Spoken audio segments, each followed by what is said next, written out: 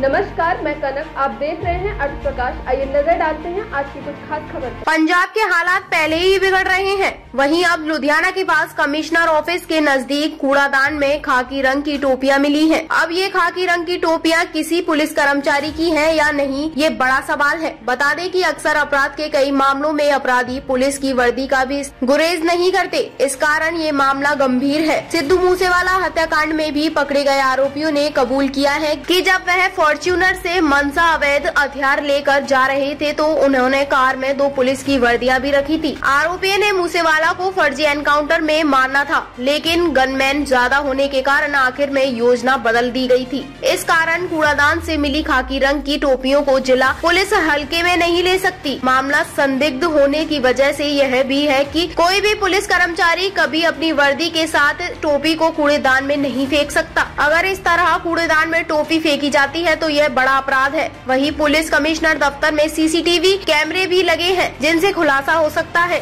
कि ये टोपियाँ किस व्यक्ति ने कूड़ेदान में फेंकी हैं। इस तरह पुलिस वर्दी के रंग की टोपियों का लावारिस हालत में कूड़ेदान में मिलने को उच्च अधिकारी भी हल्के में नहीं ले सकते, क्योंकि आए दिन पंजाब में कहीं न कहीं बड़ी घटनाएँ हो रही हैं। कूड़ादान में टोपी मिलने के मामले में वही मौजूद कुछ पुलिस कर्मचारियों से भी पूछा तो उन्होंने कहा कि इस तरह से वर्दी के साथ की टोपी कूड़ेदान में मिलना गलत है। मौके पर कर्मचारियों ने कूड़ेदान से दो से तीन टोपियाँ निकाली। ये मामला पुलिस के उच्च अधिकारियों के ध्यान में भी आ चुका है। ताज़ा अपडेट्स व बड़ी खबरों के लिए सब्सक्राइब करें आज प्रकाश टीवी और बेल आइकन दबाना